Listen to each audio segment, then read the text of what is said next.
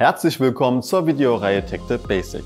In unserem heutigen Video erklären wir Ihnen den elektrischen Widerstand. Lassen Sie uns gemeinsam die wichtigsten Fachbegriffe der Elektrotechnik erkunden. Der elektrische Widerstand begrenzt den Stromfluss in einem Leiter. Man stelle sich einen Schlauch vor, durch den Wasser fließt. Der Wasserdruck ist wie die elektrische Spannung. Das durchfließende Wasser ist wie der elektrische Strom. Man kann sich den elektrischen Widerstand nun so vorstellen, als würde man den Schlauch zudrücken. Das Wasser wird am Durchfluss gehindert. Es fließt weniger Wasser durch den Schlauch. In unserem Fall behindern die materiellen Eigenschaften des Leiters den elektrischen Strom beim Durchfließen. Die Elektronen stoßen nämlich auf ihrem Weg auf Atome. Es entsteht Reibung und das Kabel erwärmt sich. Der elektrische Widerstand hat als Formelzeichen R und wird in Ohm gemessen. Spannung, Strom und Widerstand stehen also in einem engen Verhältnis.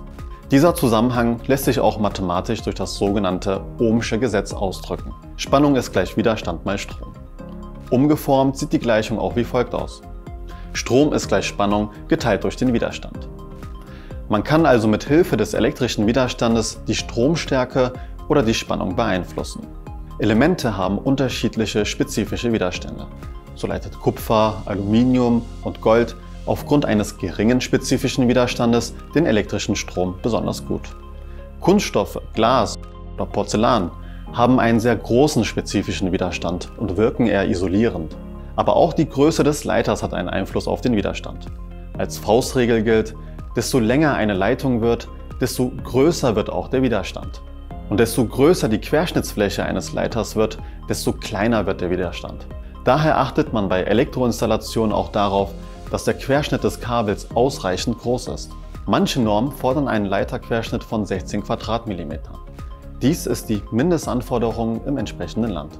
Fordert der Hersteller aber einen noch größeren Leiterquerschnitt, so muss unbedingt der Querschnitt des Herstellers eingehalten werden. Viele Hersteller geben dafür in ihren Datenblättern Angaben zum minimalen Querschnitt oder zur maximalen Leitungslänge an. Ansonsten besteht Gefahr für die Umwelt und den Menschen. Zu kleindimensionierte Kabel können zum Brand oder Schäden an Produkten führen. Vielen Dank, dass Sie unser Erklärvideo zum elektrischen Widerstand angeschaut haben. Wir hoffen, dieses Video hat Ihnen bei Ihren Fragen geholfen. Weitere Videos der Serie TechTip Basic finden Sie auf unserem YouTube-Kanal.